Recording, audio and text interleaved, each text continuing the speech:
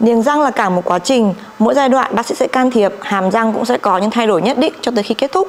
Vì vậy, hiện nay không chỉ trẻ em mà người lớn cũng tìm và lựa chọn phương pháp niềng răng để chỉnh sửa hàm răng không ngay ngắn, khớp khểnh của mình về đúng vị trí, thẳng đều thẩm mỹ. Thời gian chỉnh nha còn tùy thuộc vào rất nhiều yếu tố như mức độ phức tạp, răng chỉnh đã đúng như mong muốn chưa, mong muốn của bệnh nhân, độ tuổi của bệnh nhân và những điều trị kèm theo nếu có. Thời gian chỉnh nha thông thường đối với trường hợp không phải nhổ răng sẽ mất khoảng 18 tháng. Trường hợp phải nhổ răng thì khoảng 24 tháng là đủ để đem lại một nụ cười đẹp. Với trường hợp có răng mọc ngầm, thời gian niềng răng có thể lâu hơn một chút. Thời gian chỉnh nha hoàn tất cũng tùy vào từng đối tượng. Niềng răng ở trẻ em và niềng răng ở người lớn sẽ có thời gian khác nhau. Ví dụ, đối với trẻ em đang ở trước hoặc là trong độ tuổi tăng trưởng, chỉnh nha sẽ phải chia thành hai giai đoạn là tiền chỉnh nha bằng các hàm chức năng, sau đấy mới đến giai đoạn niềng răng cố định bằng mắc cài hoặc là bằng máng trong suốt. Chính vì vậy, tổng thời gian điều trị niềng răng ở trẻ em có thể sẽ lâu hơn ở người lớn một chút. Thời gian niềng răng kéo dài bao lâu không chỉ tùy thuộc vào cơ địa, tình trạng răng miệng của mỗi người mà chúng còn phụ thuộc vào một số các yếu tố ngoài như sau. Ngoài độ tuổi, mắc cài niềng răng cũng là yếu tố quan trọng ảnh hưởng đến thời gian đeo niềng răng, thời gian ngắn hay là dài. Sử dụng những mắc cài chính hãng thuộc những thương hiệu lớn sẽ đem lại hiệu quả chỉnh nha tốt hơn, cũng như tổng thời gian đeo niềng răng sẽ giảm xuống. Thời gian niềng răng cũng bị ảnh hưởng trực tiếp bởi mức độ xê dịch lệch lạc của răng.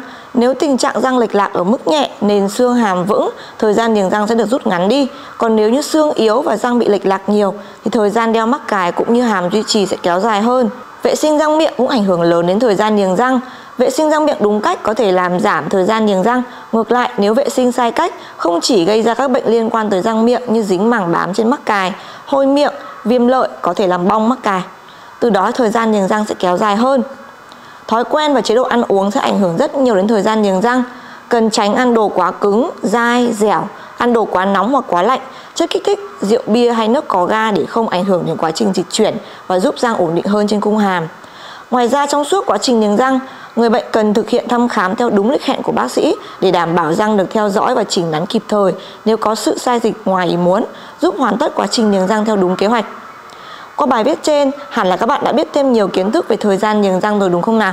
Đừng nóng vội, chỉ cần bạn tuân thủ theo đúng chỉ định của bác sĩ cũng như tái khám đúng hẹn, chắc chắn bạn sẽ có một nụ cười đẹp như mong muốn sớm thôi. Nếu các bạn mong muốn bác sĩ chia sẻ về những kiến thức niềng răng thú vị, hãy để lại bình luận ở phía bên dưới nhé. Bác sĩ sẽ trả lời chi tiết cho các bạn. Để biết thêm thông tin hoặc mong muốn có một cuộc hẹn tư vấn niềng răng miễn phí với bác sĩ, vui lòng liên hệ hotline 1900 6421 để được xếp lịch chi tiết nhé.